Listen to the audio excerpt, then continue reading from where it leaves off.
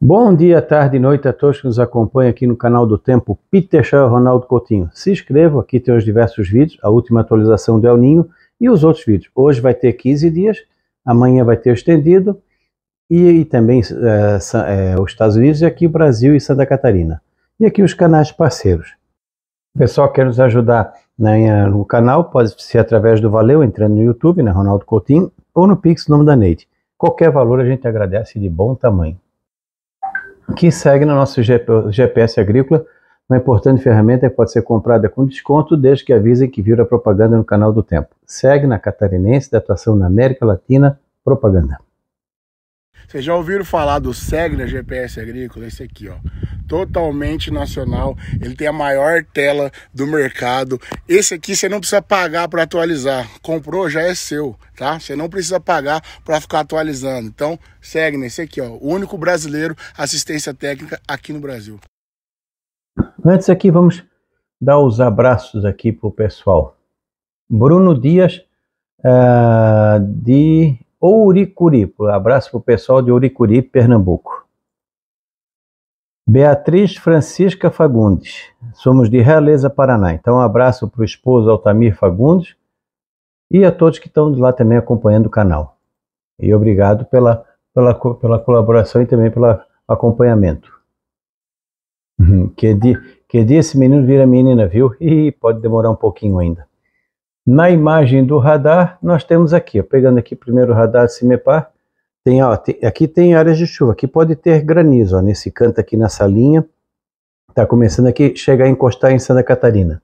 E também tem algumas chuvas trovadas aqui, ó, entre Campinas e São Paulo, interior, ao norte de registro. Aqui no, no radar nós temos aqui, ó, já deu granizo aqui na região de Palmeira das Missões, Panambi, toda essa região aqui deu granizo de manhã, entre Santa Rosa e Palmeira das Missões. Tem granizo aqui, ó. Nesse, esse núcleo aqui é de granizo ao sul de Erechim. Tem chuva aqui, ó. Tá começando a formar, ó. Começou a formar nuvens de chuva aqui em Santa Catarina. Tá começando o quê? Começar a ativar. A frente fria tá subindo e vai começando a ativar.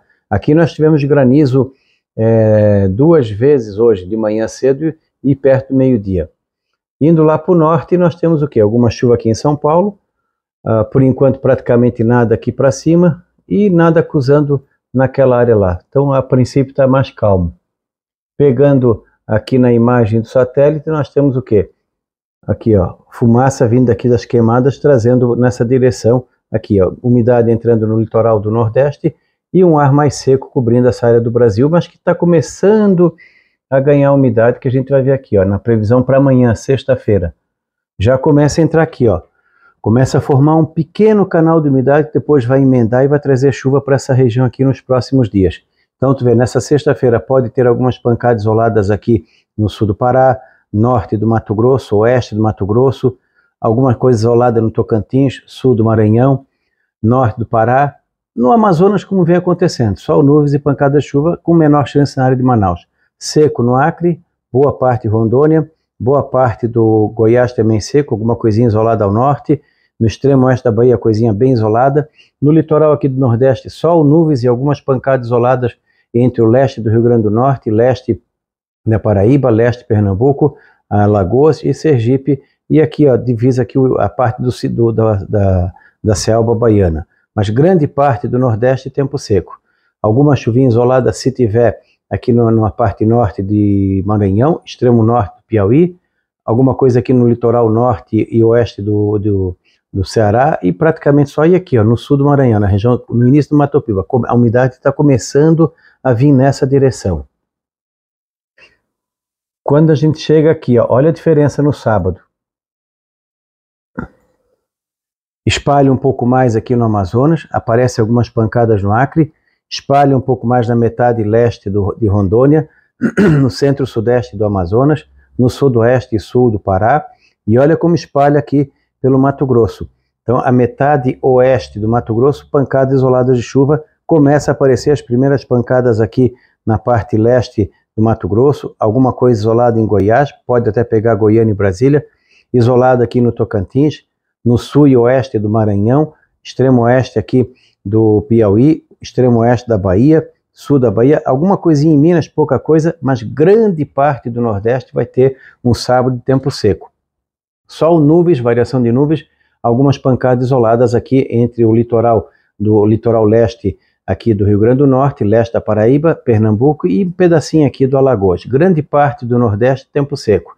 Alguma coisinha entrando de umidade na parte oeste da região Nordeste. E principalmente aqui no centro do país, Norte, Mato Grosso Sul também e esse pedaço de Minas.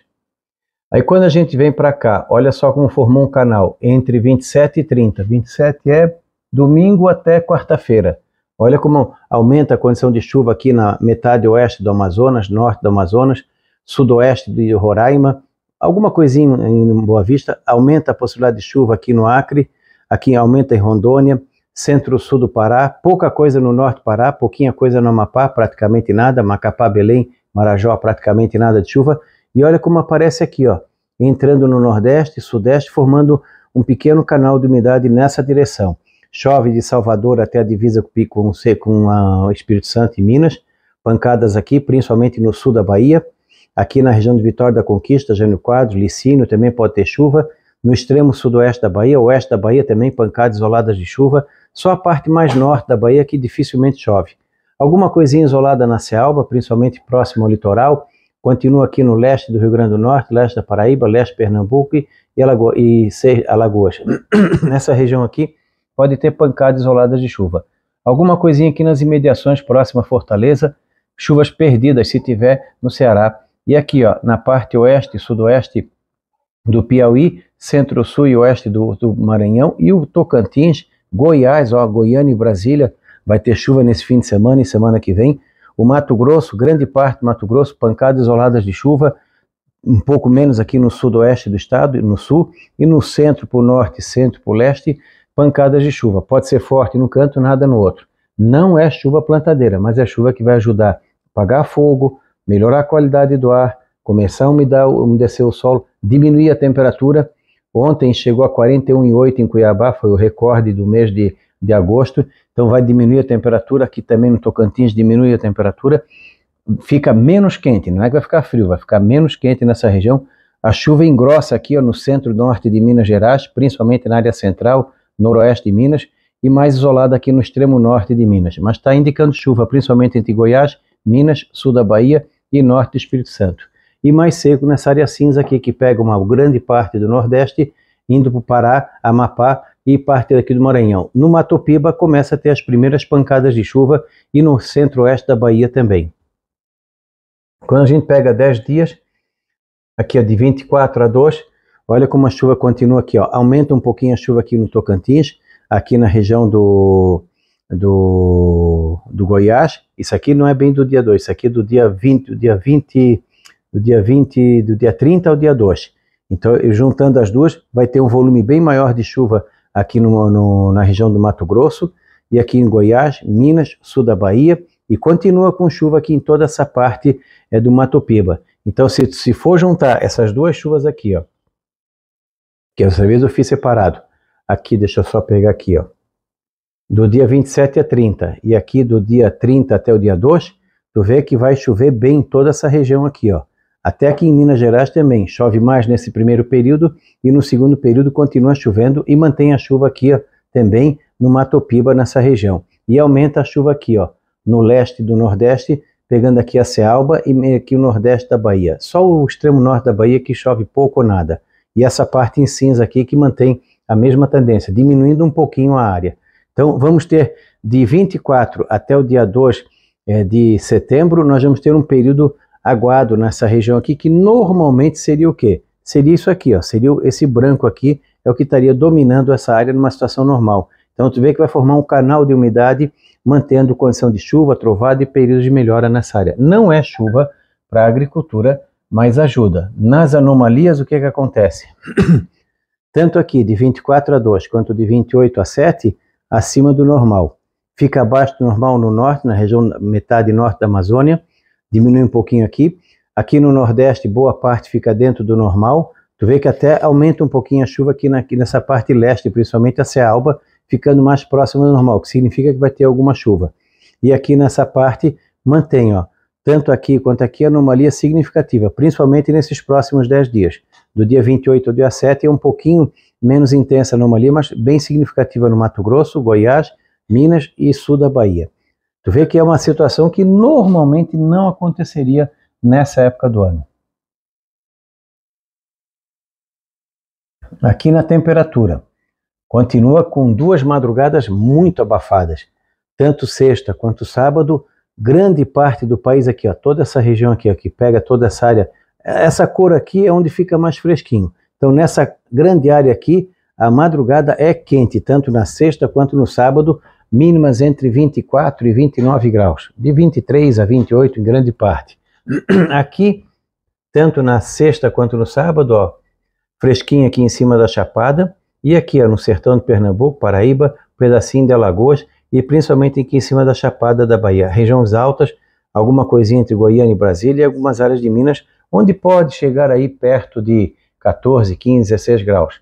Aqui também, ó, fica mais fresquinho no sábado, principalmente aqui na Cealba, no centrão de, do sertão do Pernambuco, algumas áreas da Paraíba e toda essa parte centro-nordeste da Bahia também. Não é frio, é fresquinho, mínimas aí de 15, 19 graus. Grande parte do nordeste quente, de 22 a 27 graus, e grande parte do norte do Brasil, pega o Mato Grosso, Rondônia, Acre, Amazônia, Tocantins, noroeste de Goiás, quente. Aqui, ó, essa região aqui, ó, mínimas de 24 a 28 graus, realmente bastante desagradável. Em termos de máxima, diminui. Ontem foi muito quente nessa região e aqui na região de Cuiabá, hoje dá uma diminuída. Toda essa área com esse tom aqui de vermelho, toda essa região aqui, máximas variando de 34 a 38. Aqui pode ter pontuais de 40, aqui pode ter pontuais de 40 também, até passar um pouquinho. Mas grande parte dessa área do Brasil de 34 a 38 graus. Aqui vai de 30 a 34 graus, também esquenta, um pouquinho mais fresco no leste de Pernambuco. Claro que as, as cidades altas aqui do Nordeste sempre é mais fresquinho. Aqui ele não consegue pegar porque são micropontos, vamos dizer assim. Mas grande parte dessa área do país que está aparecendo, as máximas a grosso modo de 34 a 38 graus na sexta. No sábado, ó, calorão em todo o Piauí, Maranhão, aqui o Alto Sertão do Pernambuco, Ceará, oeste do, Pará, do Rio Grande do Norte, oeste da, da Paraíba, grande parte do interior da Bahia, Tocantins, noroeste de Goiás. Toda essa região aqui, ó, com máximas variando de 35 a 40 graus. Vários pontos aqui do Piauí passam um pouquinho dos 40 graus. Norte da Bahia e essa parte oeste também de 35 a 40 graus. Aqui um, diminui um pouco por causa da chuva. Aqui também, olha a diminuída que dá no Mato Grosso por causa da chuva. Nessa região aqui fica de de 30 a 34 graus. É quente, é, mas para quem pegou mais de 40 é um alívio. Fica ainda quente aqui nessa parte leste do Mato Grosso, ainda a chuva ainda não chegou, vai chegar ainda, e no Tocantins também, aos poucos vai reduzir a temperatura. A sexta e sábado, domingo já dá uma diminuída, então vai diminuindo aquela bolha de calor aqui em cima da gente por causa da entrada de umidade. E nos próximos dias está o quê?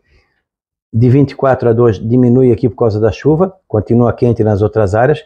Aqui diminui por causa da chuva e entrada de ar frio. Vai entrar um ar frio ali do dia 28 para frente e olha aqui, ó, do dia 2 a 7 está querendo entrar uma friagem até forte nessa parte centro-oeste do Brasil, pegando Acre, sul do Amazonas, Rondônia, Mato Grosso, Mato Grosso Sul e sudoeste de Goiás. Aqui, por causa do ar frio que vai para o oceano, jogando umidade e temperatura mais baixas. Então vai dar uma mudança de padrão ali do dia 26, 27 para frente, vai dar uma mudança no padrão de temperatura em grande parte do país, principalmente aqui no centro-sul. Mas o, a região central também vai ter um alívio nesse calorão. Então, pessoal, acompanhem bem o nosso canal, dê um like, visualizem e voltamos amanhã. Da Climaterra, Ronaldo Coutinho.